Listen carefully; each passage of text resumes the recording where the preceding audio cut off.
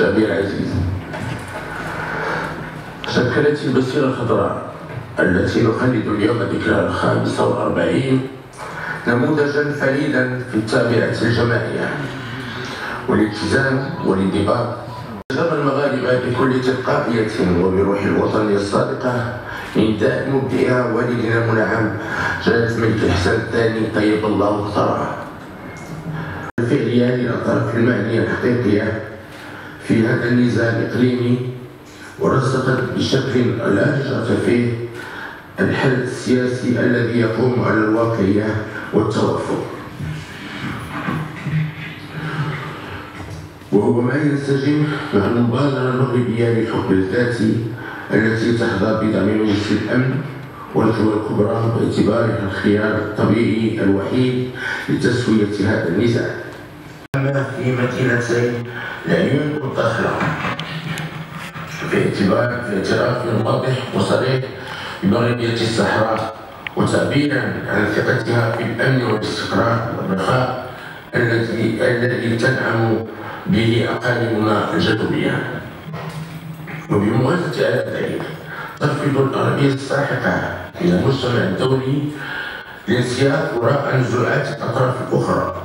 الدول كنا نقول أن خطاب يعني كان واضح يعني آه، الحمولة ديالو قوية خطاب يعني أكد آه، مغربية الصحراء الصحراء يعني يعني بشكل لا رجعة فيه بالدليل أن يعني أن السياسة اللي اللي كياخذها المغرب الدبلوماسية ديالو الناجحة على المستوى الدولي استطاعت أنها ترد واحد المجموعة ديال ديال الدول اللي كانت انزلقت في ديك يعني إلا بغيت نقول انزلقت يعني ومشات اعترفت بهذا الكيان الوهمي والحقيقة أن المغرب بذل واحد المجهود كبير وجبار واستطاع يرجع لافريقيا حيث أن أغلب الدول الإفريقية اليوم رجعت كتامن بأن المغرب أن الصحراء هي مغربية.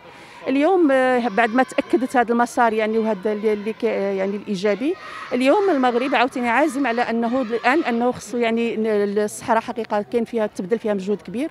بجهود تنموي كبير واليوم خصنا نمشيو بسرعة أخرى قصوى يعني من أجل استغلال الثروات والإمكانيات الكبيرة اللي كتزخر بها الأقاليم الصحراوية بشكل يعني اللي يجعلها أنها تعود بالخير على الساكنة ديال الأقاليم الصحراوية آه، فيما هي الثروات البحرية وكذلك وباقي الثروات اللي كتزخر بها هذا.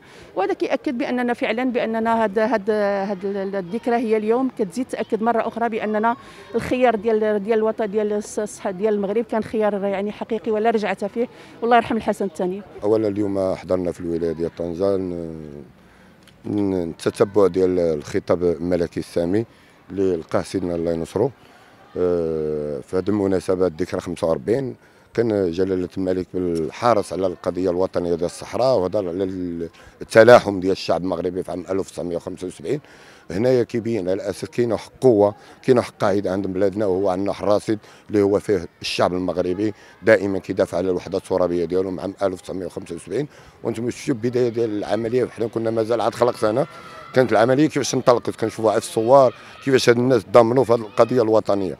اليوم سيدنا كان واضح على أساس هذه المشاكل اللي عملنا لنا بوليزارو على في المنطقة ديال الكركارات خلقت واحد الأزمة معيشية بين الدولة المغرب كيمد يد المساعدة لموريتانيا في المواد الغذائية وأنتم عم متبعين. على أساس خلقت واحد الأزمة داخل موريتانيا. هنا يتبين هذاك الكركارات تبين قوة ديال الدولة المغربية في الدعم ديالها لافريقيا واليد اللي اللي مات سيدنا الله ينصرو من إفريقيا والتجارة وهذه المسائل اللي ماشيين فيها. سيدنا بيهضر على الميناء المتوسط اللي هو قطب اقتصادي اللي هو معترف به عالميا بين على أساس كاين إحداث واحد الميناء جديد اللي هو يكون في الداخلة بين على السياسة البحرية اللي غتكون في المستقبل بين على أساس الصحراء راه ما نتخلاوش عليها والنتائج ديالها بدات كتبان والدليل على ذلك هما مجموعه ديال الدول فتحت القنصليات ديالها والسفارات ديالها في الداخلة وموريتانيا.